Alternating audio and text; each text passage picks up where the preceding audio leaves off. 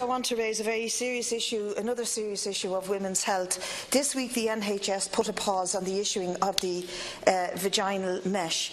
Now it's not obviously, uh, it's a very personal subject for women who suffer from urinary incontinence and pelvic organ collapse, um, but it is causing major harm to hundreds of women in this country and is being used on a daily basis. I just want to quickly quote Professor Carl Heneghan of the Oxford Centre for Medical-Based uh, Medicine.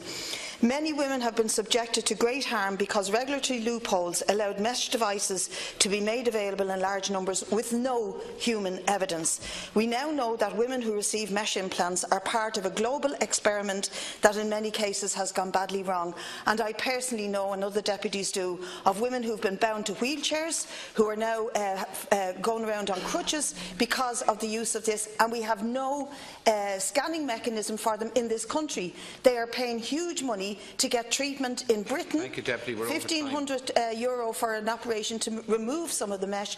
It's a complete failure. It hasn't been tested on human beings, and I'm calling on this government to do what the NHS has done and put a pause on the use of this mesh ASAP. With respect, I'll have to get the, um, the Minister for Health to come back to both of you on that, but I'll do Thank that. you very much, Tánaiste. Deputy Matty McGrath.